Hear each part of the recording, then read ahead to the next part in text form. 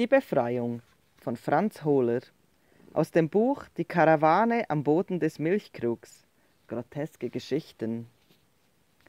Da bin ich, rief der Prinz, als er mit seinem Schwert im Dornenhain auftauchte. Komm mit.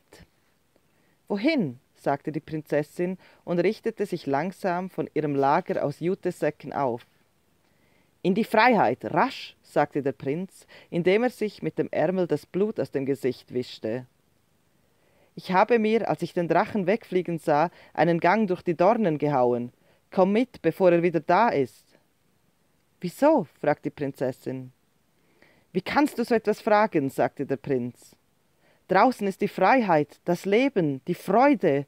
Du kannst wieder in einem richtigen Bett schlafen, dich waschen und kämmen und schön anziehen und er blickte auf die Bettstelle der Prinzessin und auf ihr zerrissenes Kleid, unter dem überall die Haut zu sehen war, mit einem rötlichen Ausschlag, der über den ganzen Körper zu gehen schien. Ich liebe den Drachen, sagte die Prinzessin.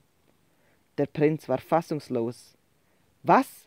Dieses garstige, ruppige, schuppige Vieh? Ja, sagte die Prinzessin. Er kann fliegen, und wir lieben uns immer in der Luft. Das Gefühl, wenn ich hoch oben schwebe, mich an ihn klammere und er mir sein feuriges Glied zwischen die Schenkel treibt, ist unbeschreiblich. Es gibt doch noch anderes, sagt der Prinz. Ja, sagt die Prinzessin, aber es ist alles nichts gegen dieses eine Gefühl. Und sie sah ohne Mitleid zu, wie der Drache, der soeben zurückgekehrt war, den Prinzen zertrat. Komm, sagt sie zum Drachen, komm, wir wollen fliegen. Sie umarmt ihn und zusammen erheben sie sich in die Luft.